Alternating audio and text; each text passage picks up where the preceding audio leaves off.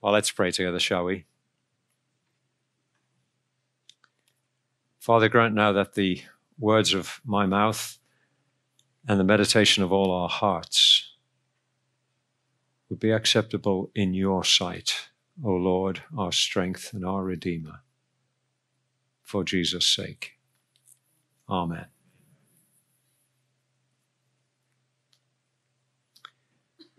Well, without embarrassing a certain lady who's here this morning, when we moved here back in 1988, uh, our two kids were settling into local schools, and it was then that the full reality of what they'd missed in schooling, especially back where we'd lived in East London for a, a decade or more, began to filter through. And my son at that time was really struggling with maths. But this dear lady, who I won't embarrass naming her, but she's sitting up there in the balcony, uh, whatever, she said, I can help your boy. I'm a maths tutor. So every week, my young son Paul went for extra maths tuition. You can imagine how happy he was about this arrangement. And then he seemed to take off like, a, you know, a Harrier jump jet, vertically. He was really doing well. And my friend said, your boy's doing really well at maths, isn't he? Do you know why? I said, Yeah, you're excellent tuition for him. Oh, she said, I wish it was that simple. He, you see, the maths book he's using has got the answers at the back. He's been writing them down. He got one out of kilter and he just continued. And if you moved them all down one, they were all the correct answers. I think I might have taken him out for a celebratory ice cream because my son had learned a lesson that too few of us as Christians, especially in COVID, have learned. He knew that no, no matter what the problem, the arithmetic, the algebra, the geometry, they could have thrown calculus at him. He really didn't care because he knew if he turned to the back, he got the answer. And if we turn to the back of our Bibles, we get the answer to this dilemma called life that Jesus Christ is Lord, that he's on the throne of the universe, and that is no power can conquer you when God is on your side. And if God be for us, who can be against us? And the answer is all hell may be against us. It doesn't really matter because Something has happened in space time history. God has raised his son from the dead, and everything is different, and everything is new. And one day, all things shall be new again. That's the wonderful story of the book of Revelation where Christians are suffering for their faith and it looks like the might of the Roman Empire is just going to wipe them off the face of the earth. Where is that today? Nowhere and kingdoms will rise and fall and empires will come and go. But the throne of Christ and the kingdom of God will last forever. That's why I want to focus you in here on Revelation chapter 1 this morning. For John himself is in some difficulties. Here's our first thought. Be clear. Be clear that being a Christian in this world is a troublous thing. After all, Jesus said, in this world you will have tribulation, John 16. And if you look at chapter 1, verse 9, it says, I, your brother, in the suffering. It's the same word. And the kingdom and the patient endurance. I, John, he's an old man. He's in a place he didn't want to be in. He's in Patmos. He says, I, John, your brother and companion in the suffering and kingdom that's Christian faith.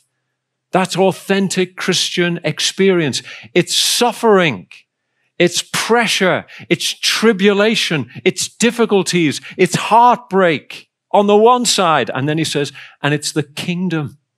Because God in Christ has broken into space time history. He has come for the salvation of the world. He has come to make all things new his power and his rule. That's what kingdom means. And what holds it together is, he says, and the patient endurance. We've just got to hang on in there. That's the point. When life is tough, when it goes pear shaped, when it didn't work out as you wanted, what do you do? And John says, I'm in the Isle of Patmos. He was a prisoner, almost certainly, of the Roman Empire. A little sweating out his final years in, a, in, in, in the ore mines there of this little tiny spot in the Aegean Sea. And he says, I was in the Isle of Patmos. I was having a meal with somebody recently who was going through a trauma. Unexpectedly, they'd lost their job. And they're kind of, it's sixes and sevens. And I reached across the, the meal table and I grasped their arm and I said, John, this is your Patmos. John the Apostle didn't choose to be in a holiday island like Grand Cayman. Patmos was a prison. Are you in a Patmos this morning? Wish you weren't there. Wonder how you got there. Wonder how it's all going to work out. Wonder why God could possibly, if He really loves you, could allow this to happen. And that's why we need patient endurance. Be clear in this world, we will have trials and tribulations. But here's the second major thing not only be clear, but know this He's near. For as John's in a position he didn't wish to be in, we often used to say man, we'd say a person today, inclusively. Man's extremity is God's opportunity. God often meets us in the hard and difficult and dark places of life because He's got our attention then. When everything is sunlit and everything is wonderful and everything is cool and going fine, oh, we can just forget the important things. But now it's tough. And John has this revelation. If he'd never been in the place of Patmos, we'd never have had this incredible and complex book. And he says, While I was there, I heard a voice. God speaks, and we are to listen. And he says, And I turn to hear the voice. When we're in trials and difficulties, we need to stop and turn and listen. Lord, what is it you're saying to me? And as he turns to listen, he discovers that the Lord Jesus is there. John was, was the nearest, perhaps, disciple ever to Jesus physically, and the disciple who, whom Jesus loved and who loved Jesus. By tradition, I take it too, he wrote the Gospel of John, Revelation, three epistles, five of the 27 documents in the New Testament. But this day, he gets a vision of Christ that is so overwhelming. Because you see, there's always more about Jesus to know. No matter how well you know him, there's always more. There's the unsearchable riches of Christ, according to Ephesians 3, verse 8. That means unmappable, unfathomable, never come to the endable of riches of Christ. If you think you've got Jesus buttoned up, you've got the wrong Jesus. This Jesus here defies, as it almost, it defies predication.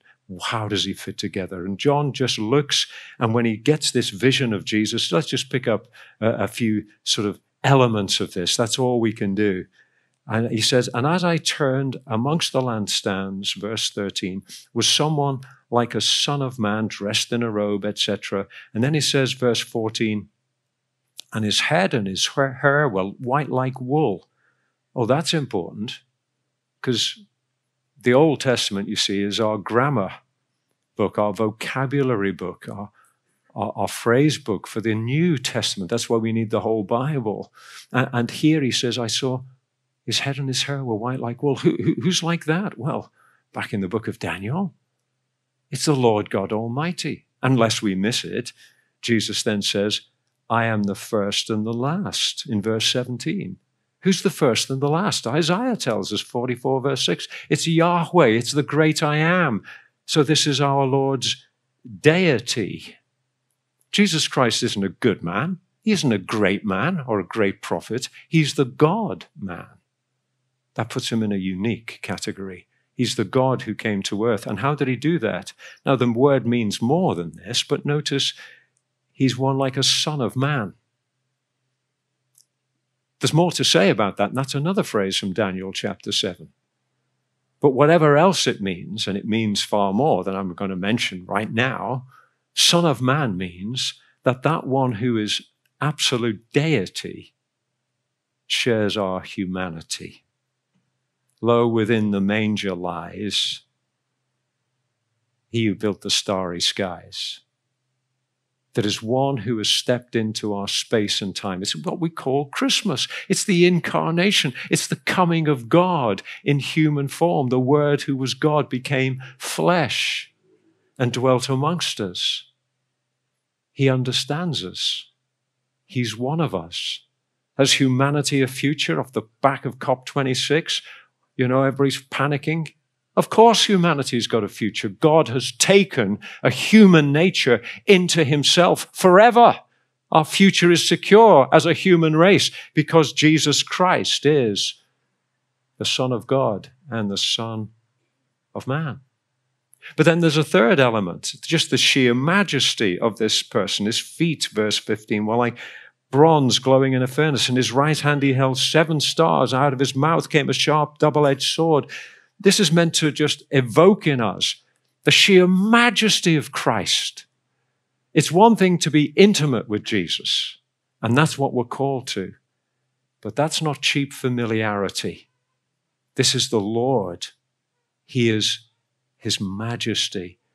Never domesticate the Lord Jesus. He's not one amongst the many.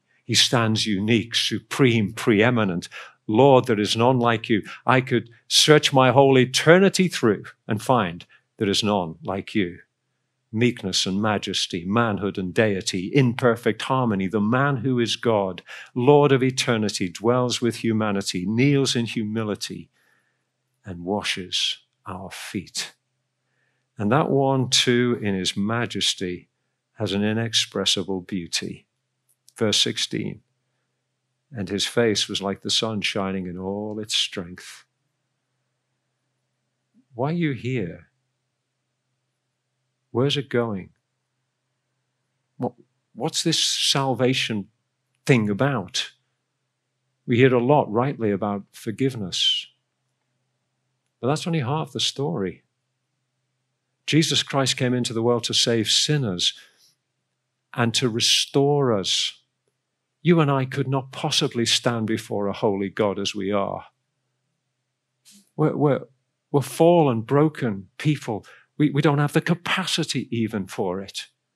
We couldn't, no, no more, we can just gaze at the sun in all its brilliance. And when John sees Jesus, he's overwhelmed. But here's the story of the gospel He has come so that you and I may one day see the very face of God. What is the goal of salvation? That you're forgiven? No. The goal of salvation is Revelation 22, and his servants will see his face. Didn't Jesus say? Blessed are the pure in heart, for they shall what? Hello, anybody out there? They shall see God. That's what you're here for. If you become a Christian, you're being prepared for the vision of God, to see Him. That's what it's about. It's not about you. It's not about me. It's not about even about, at one level about the church. It's about God. It's the gospel of God that prepares us for the vision of God. Oh, how shall I, whose native sphere is dark, whose mind is dim, before the ineffable appear, and on my naked spirit bear the uncreated beam? John captures something of the sheer astonishing, magnificent beauty of the Lord Jesus, his face shining like the sun. And of course, the scrutiny here, too, for his eyes, verse 14, are like blazing fire. You know, there's never been a secret sin. Oh, we think we get away with it. These eyes see everything. We didn't need superheroes like uh, Superman to come with his X ray vision. The real hero is here. He never sees things, he sees through things. He never sees just what people do, he sees why they do them. He sees not just you and me, he can see right through us. That's an uncomfortable thought because you can't con the Lord. People think they get away with it all the time. Oh, you know, just fat cats and thin cats as well. Nothing escapes this one. But that leaves us very much to why we need verse 13. Among the lampstands was one like a son of man, dressed in a robe reaching down to his feet. Now, it is possible that the robe here could be a judge's robe. So the one with eyes of fire sees us, and we're in for the long eternal drop. We're lost. His scrutiny. But almost certainly, the echo here is not of the judge in his robes, but it's the high priest. Back to Exodus, you'll have to read it at your leisure, 28 and chapters 29. The high priest who stands with mercy for his people. He is the go between. When they use the word high priest in Latin, they called him Pontifex Maximus. Maximus means the greatest. Pontifex literally means the bridge builder. Jesus Christ is the bridge builder between a holy God and sinful humanity. He is the perfect bridge builder. He's the perfect mediator, and he's the perfect high priest. What does that mean? Because he's one of us, he sure understands us. He sure sympathizes with us. He sure knows every movement and brokenness of our hearts. That's why I love that hymn, Before the Throne of God Above. I have a strong, a perfect plea, a great high priest whose name is love, whoever lives and pleads for me. His name is, my name is graven on his hands, my name is written on his heart. I know that while in heaven he stands, no voice can bid me thence depart when Satan tempts me to despair. Tells me of the, the guilt within up would I look and see him there who made an end to all my sin because the sinless Savior died. My sinful soul is counted free, for God the just is satisfied to look on him and pardon me. May I ask you this morning? Are you sheltering in Christ like that? Are you in Christ? Have you turned to Him and said, Lord, I know if you look at me, I, am done. But thank you that there is a substitute, there is a Savior, there's, there's one I can hide in. And you do that by coming to Him and giving yourself to Him and believing that He died for sinners and therefore He died for people like you and me that we might be saved forever and hide in Him no matter what, even when all hell breaks loose against us, we feel. He stands unique and supreme before the throne of God for us. There is none like Him. And as we close, be clear He's near. So why fear?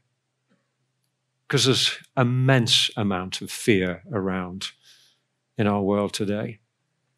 And COVID's only added to that. Perfect storms and global warming, and are we all going to kind of drown or whatever? Let me tell you, if you think you've got problems worrying about rising sea levels in Bournemouth, try Cayman. I had to take my driving test and say, I've seen you drive, Steve. I don't think that's a bad idea. Now, I had to take it to get a Cayman license and learn about hill starts again, just a written test. The highest elevation in Cayman is about 60 feet. I didn't know where I could practice hill starts. Pardon? What, what's all that about? Well, if the oceans rise, we're just a disaster waiting to happen. They just go up a couple of feet. We, we, we live through hurricanes. What's going to happen in the world? Do you know what? I, I try not to give it, a, at one level, a second thought. I want to be a responsible steward. I want to live properly as a Christian, of course. This is God's world. That's absolutely right. But uh, I'm not going to be filled with all the prognostications of hearing crisis, crisis, crisis. The only crisis I'm concerned about, and this is the truth crisis in Greek means judgment. is the judgment of God. And in Christ, that judgment's been taken away. So I can do what these verses now say as we close. So why fear? Well, the first thing is when I saw him, verse 17, I fell at his feet as though dead, and he placed his right hand on me. Oh, what sympathy. Just that touch of Christ, that makes all the difference in this world and the next the touch of Christ on this man physically, of course. We, we're trying to get used to social distancing and, you know, we have to be respectful of each other's predilections in that. But isn't it wonderful for me coming back just this week and seeing the grandkids and the family and being able to give them a hug? Well, here, the Son of God touches John physically and we're together that we may know the touch of Christ by his Spirit upon us here spiritually this morning. He touched me. Oh, he touched me. And oh, the joy that filled my soul. Something happened, and now I know he touched me and made me whole. Many of us as Christians have forgotten the nearness and the dearness and the touch of Christ upon our lives because we're so full of fear. We can hardly feel anything. But here's one who comes in sympathy and he reminds us I am the living one. I was dead, and behold, I'm alive forever and ever, and I hold the keys of death and hell. What tragedy! He died. We've sung about it, we've rehearsed it. Here, the Son of God, in pain and shame and ignominy and rejection, he suffers and bleeds and dies for sins not his own, so we, the guilty, go free. Wow. But how do you know it's true? I am he who lives and was dead. There's the tragedy. But here, the victory. And now I'm alive forever and ever. Wow. Lord, you've conquered the grave. This is why the early church expanded, because you know what? They didn't fear death anymore because they knew the Lord of life. You and I, we live and die. Are we all on the same page on that one? Yeah, no matter who we are, wherever we're coming from, we live and die. Here is the qualitative difference. Jesus Christ died and now lives forevermore. He'll never die again. It's not a resuscitation. The tomb is empty. Christ is risen and alive forevermore. And he says, because I live, you will live also. Wow, we've heard of deaths this week. Those in Christ now with the Lord. Nothing and no one, anywhere, anytime, ever will separate us from the love of God in Christ Jesus, our Lord. But then he says, and I have the keys of death and Hades. Do you believe that? These are the keys to the car I'm borrowing while I'm back. They get me into the, the vehicle. I'm not quite sure how on earth to get into it without it, and I'm certainly not sure what half the things in the car do at the moment either. I'm driving by faith, not by sight, if you understand. Jesus says, I have the keys of death and hell. I have the keys of destiny.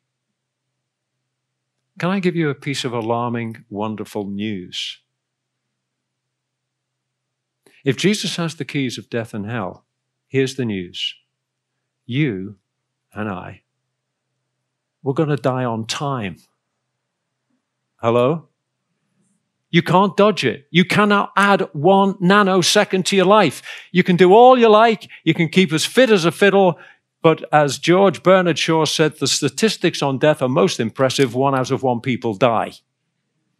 You are going to die if the Lord doesn't come back. And people say, Oh, if your cholesterol's high, you're going to die. Well, let me tell you, if your cholesterol's low, you're still going to go, right? That's just the bottom line. Just get over it. If Jesus has the keys of my destiny and I'm going to die on time, then here's the challenge. I'm therefore supposed to be living in time for him till he comes for me or he comes again in power and glory. Not being intimidated by saying, Oh, am I going to get through this? Yes, you are. Because if the Lord decides you're going to die today, have a great eternity.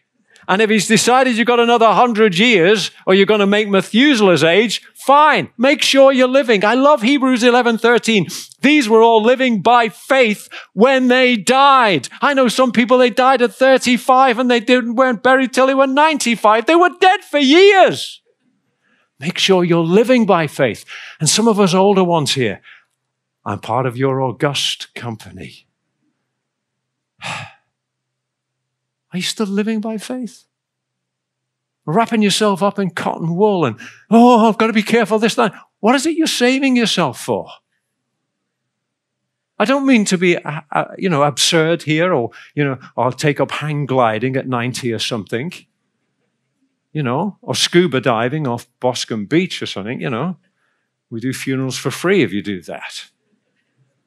But I'm just saying life is for the living. Life is for taking risks. Uh, and especially as we get older, rather than wrapping ourselves in cotton wool and trying to preserve everything, we've got to say, look, Jesus has the keys of my destiny. I'm going to live responsibly. I'm going to live Christianly, but I'm not going to live fearfully. He says, do not fear. And as we close, that's the thing. He says, do not be afraid. I am the first and the last. He's the living one. I fell at his feet and he said, Don't be afraid. Many years ago now, and I used to sit in listening to students making their way through a sermon class. They'd get 15 minutes, and then we'd take it apart, and then another one 15 minutes and a 50 minute lecture. And this student was in full flow. We never stopped them at 15 minutes. This is the only time I wanted to jump in immediately because they said this Do you know there are 365 fear nots in the Bible or equivalent. And I wanted to jump in and say, Excuse me, it isn't enough. Because I've got this real clever devil. And he comes to me and he says, That's right, Steve Brady. But actually, have you thought of the 29th of February? Leap year? Groundhog Day? And today, Steve Brady, in your experience, it's the 29th of February. I say, no, it's, it's, it's the 14th of November. No, no, no, no. It's always going to be the 29th of February. So be afraid, be very afraid. Somebody else did the maths, or I can't get my head around it. I keep talking about the math where I live, the maths, and come up with 366 fear nots or equivalent in the Bible.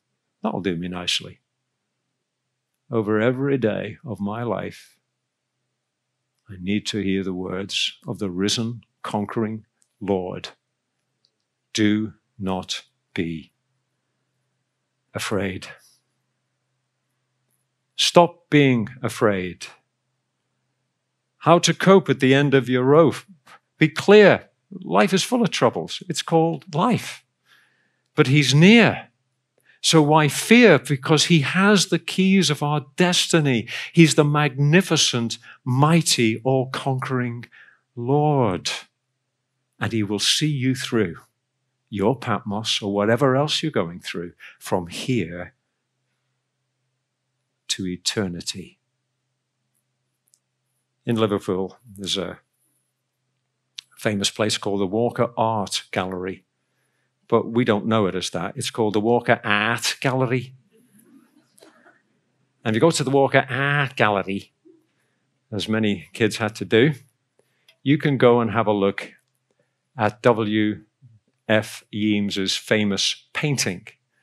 It's a Victorian artist, but it's set in the Cromwellian days of a young boy being interviewed, put it mildly, by the Roundheads.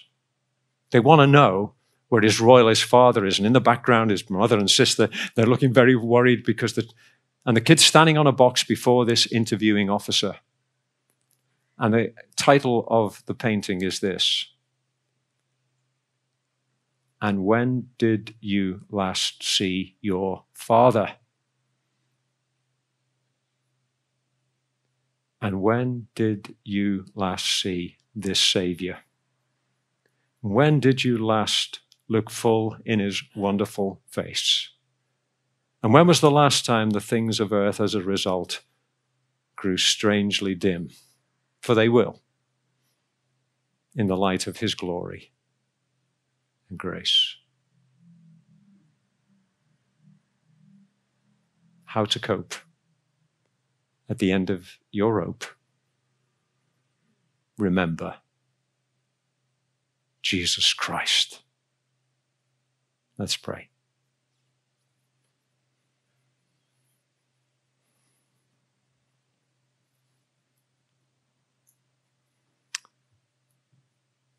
At your feet we fall, mighty risen Lord, as we come before your throne to worship you. And we do. We stand in awe of your immensity, of your wondrous nature. There is none like you, the great God man who died for our sins and rose again triumphant and ever lives to make intercession for us and will come in power and glory to make all things new. Lord Jesus Christ, Son of God, we worship you.